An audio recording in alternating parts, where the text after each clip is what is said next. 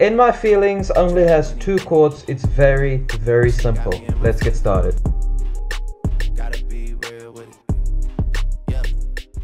In My Feelings consists of two chords. We have D flat major and C minor.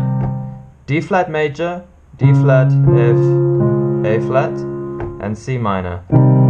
C, E flat, G. The intro and the chorus has the same chords. This is what the intro sounds like.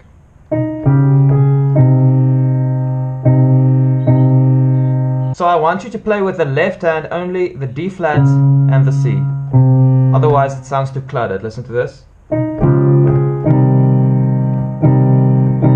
You can play it like that, it doesn't really matter, but it just sounds a little cleaner, you know?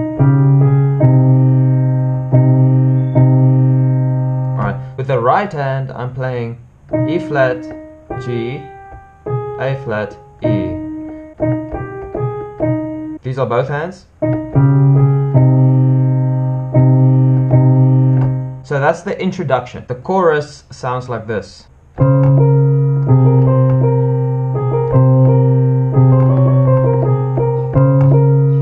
Right, let me show you what I did. So, for the left hand, I also just played D flat, C.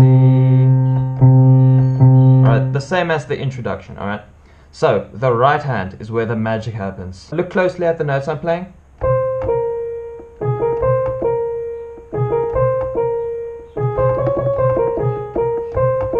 So closely look at the fingers I'm using as well. I'm starting on finger 4.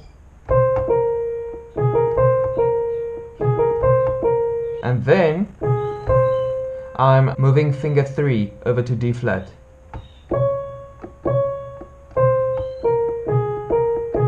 Alright, look again.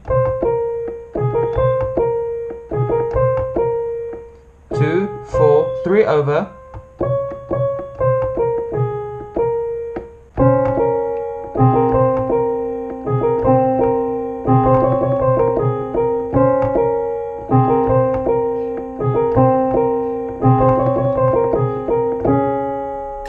So that's the chorus. And now you can also play In My Feelings by Drake. I'll put this in the description if you want it. Kiki, do you love me?